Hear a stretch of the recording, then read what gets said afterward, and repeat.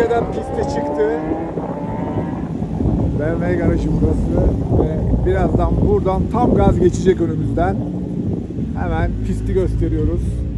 Pist gördüğünüz gibi bazı yerlerde ıslaklıklar var. Bazı yerler tam kurudu ama hala tam performans sürecek, tam performans gazlanacak bir halde değil. Hayvanlar maç çıkıyor arka taraftan. Start finish düzlüğündeyiz.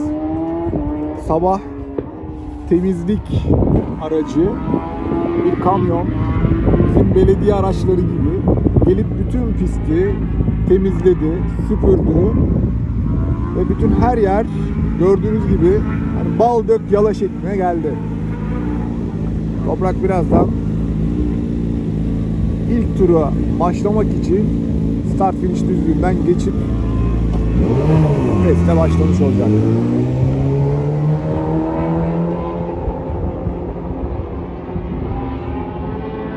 Valencia, Ricardo Tormo pist. MotoGP'nin yapıldığı bir pist. Dünya Superbike Şampiyonası'nda henüz takvimde değil. 2024 sezonunda iki yeni pist var takvimde. Hungaroring ve Cremona. Fakat burası hala piste girmedi. Türkiye'de de İstanbul Park'ta bazı değişiklikler olabilir. Bakalım göreceğiz ne olup olmadığını ve toprak geliyor.